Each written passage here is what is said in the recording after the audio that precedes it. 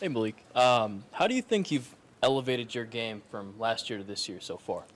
Um, I would believe, you know, I would say I elevated my game of being more explosive. You know, a lot of people ask me, you know, what I was focused on and going into the season um, was to be more explosive, like, you know, in the first four games that I've been having, um, first, you know, seven games, six games that we didn't have, I didn't become more explosive and being that receiver that, you know, is a go-to receiver right now.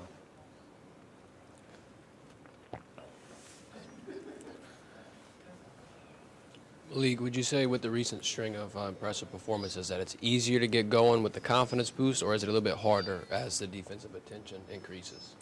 Um, that's a very hard question, but um, I would say it's kind of pretty bit easier. You know, I know, you know, me and Jayden, you know, we be on the same page a lot, um, especially with different reads or, you know, if they bracketing me, it's still, you know, um, he finds a way to still give me the ball even when I'm bracketed. So it's just me and him being on point.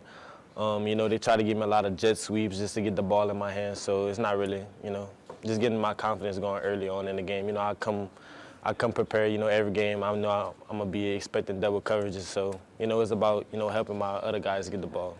And speak about the development of Brian Thomas Jr. this season. What have you seen from him, and uh, how, how, have you reacted? Uh, you know, a tremendous leader. You know, he's been helping me, especially with that receiver room since we so young.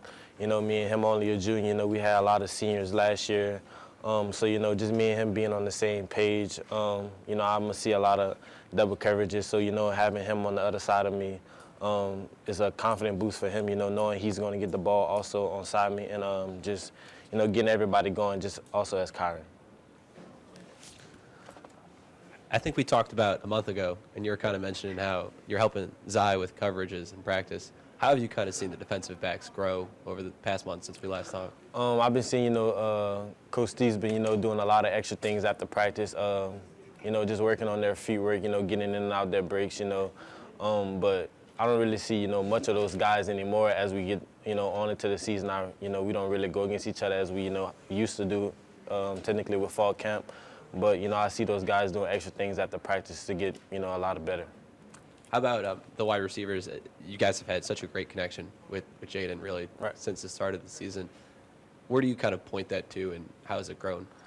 Um, I'll point it to you know you just know um, just knowing each other outside of football. You know it's a it's a great relationship that we have. You know outside of football, and it makes our our football relationship you know a lot stronger. You know I mentioned you know going eat, you know going out shopping.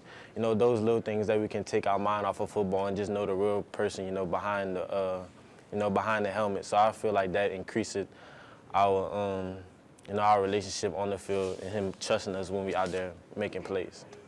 When you play a team like Army, uh, the score might get a little out of hand, and it allows some younger guys right. to get some reps. Who are some of the younger wide receivers who you think fans can expect to see really explode? Uh, you should p- expect to see, uh, you know, Shelton Sampson, um, Kyle Parker, um, Jalen Brown, Khai Prean, you know, a lot of those young guys, you know, just to get them in the game, you know, get the college, you know, feel of them, you know, probably not getting the reps that they hoped they was coming in as a freshman, you know, getting in the game, seeing what college is like.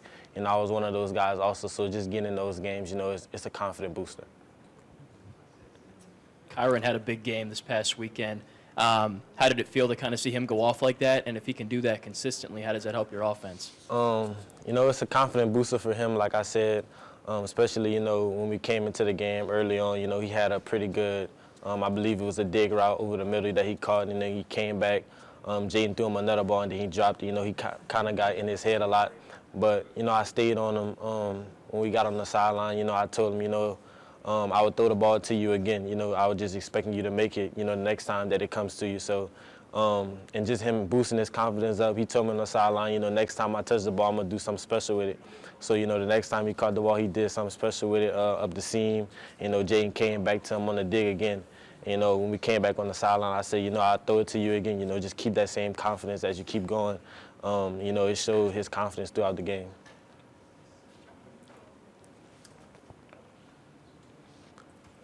What kind of impact would you say that the nutrition center and the staff had here on your development?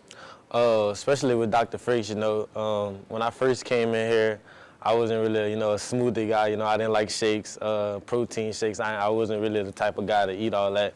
But you know, as as I keep going on, you know, he uh, pushing me to eat more and more, you know, to get my body healthy. Because you know, I face a lot through the week, you know, in games, you know, playing 60, 70 snaps a game.